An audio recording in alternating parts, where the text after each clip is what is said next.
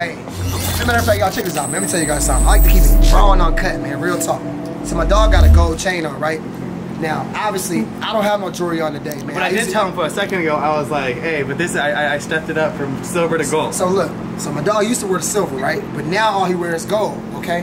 All I wear is gold. I said, man, you know why, why, like, why I don't wear silver chains, man? You know, and I really mean this because I think like this. Reason I don't wear silver, man, is because literally, when you run the Olympics, when you run a, when you run a relay race or uh, any type of competition, silver is a symbolization of second place. And we first place type dudes. We play to win. You hear what I'm saying? So that's why I wear gold. So if you guys are watching this, understand, man, everything you think about, what you play for, we play to win. You know what I'm saying? You got to play to win in life. You know what I'm saying? So everything you do matters. What you think about matters. That's why my dog got a gold chain on because he played to win, first place. Taking it out there to take it. Let's go. Y'all learn something. That's good.